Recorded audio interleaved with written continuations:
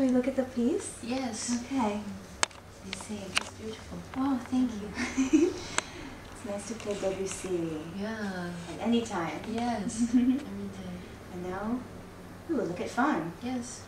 You want me to see uh, the little revisions? Or? Mhm. Okay.